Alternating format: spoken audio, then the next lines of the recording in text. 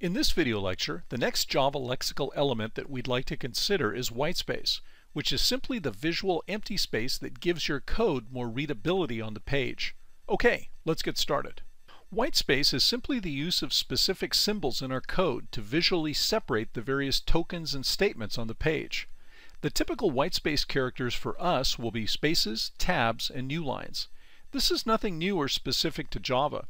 In fact, pretty much all programming languages provide for these same whitespace characters. Whitespace is useful in programming because it makes our code much more readable on the page.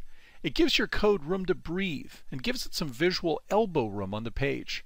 It's just a good programming practice that you should get into the habit of using now. You should always strive to have some reasonable use of whitespace in any code you write, and this will become more and more natural to you as you develop comfort with programming. Sometimes the use of white space is required. For example, you may have noticed that in a statement here, such as public static void main, at least one blank space is required to separate any keywords or identifiers, as is shown here. But most of the time, using whitespace is just a desirable good programming practice. It's typical to include whitespace as visual separation in between identifiers, operands, and operators, for example, in a statement such as A equals B plus C. It's also a good practice to put in some blank lines between logical portions of our code, or to use two to four spaces of indentation at each level, within the curly braces of any block. Keep in mind that whitespace is completely ignored by the Java compiler, so its use is purely for the benefit of us humans.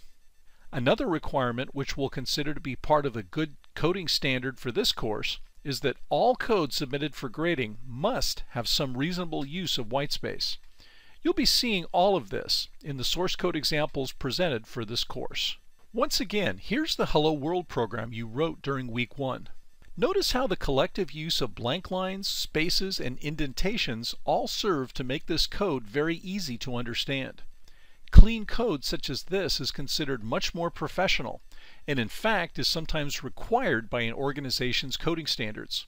It creates a positive and professional impression upon all those who might interact with your code. This is why I asked you to write your code in this way starting from week one, so this becomes a natural practice for you. We want our code to look clean and organized like this for this course. By contrast, here's the same Hello World program but with all of its white space sucked out. You'll find this example as hello world in the example source code module on Canvas. Take a look at this code if you can stand to. This code is legitimate Java and it's functionally identical to the other version, but this code is just a mess. If you were charged with maintaining this program, which version would you prefer to work with? We can't tell easily from a glance what's going on in this program. What are the methods? Are the braces matched up? What's the overall structure of this code? I can't tell at a glance any of these things. My first instinct would be to clean this code up and make it look like the version on the previous slide. This version, even though it works, is visually dense and just miserable looking. It would never pass a code review in any organization I can think of, and I would not accept this code for grading.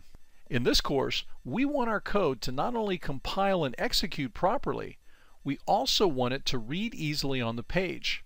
We are striving towards good-looking code, and I think we can all agree this ain't it. Whitespace is even more effective when it's paired with good use of commenting, which we'll get to shortly. It is also possible to overdo whitespace, and these examples demonstrate that. On the left is our Hello World program from week one. We wrote this as a starting point introduction to Java, our first simple program. While this works fine and is perfectly legitimate Java, when we have long programs written like this, as a statement, a blank line, a statement, a blank line, and so on, there is a tendency to get lost in the details, to lose the forest and the trees.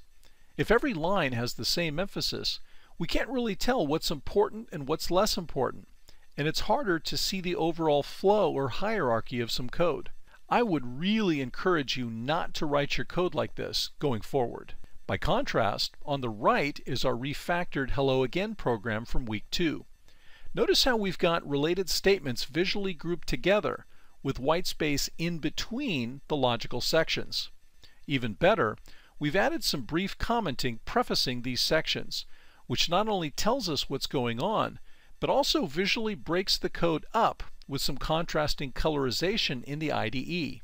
See how easy it is to follow this code at a glance? Look at these two pieces of code again side by side. This kind of style on the right is more along the lines of what we want to aim for our code to look like for readability in this course.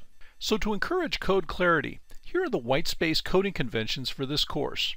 In a nutshell, use whitespace, but use it reasonably. Put some whitespace between all variables and operators, and between the items of any list. Indent all code inside of any block by a consistent 2 to 4 spaces everywhere. And note that tabs are not preferred because various editors or IDEs can handle them differently. Make sure you also nest blocks inside other blocks consistently, using the same 2 to 4 space indents. And try and group related statements together, with white space between such logical groupings. Try and adopt some personal conventions early on, and then stick with them. The more practice you have writing code, the more natural this will become, and you'll develop your own preferred style. There will be a coding standard made available in the near future, which will aggregate all the good coding conventions we've seen so far. Okay, that's it on Whitespace.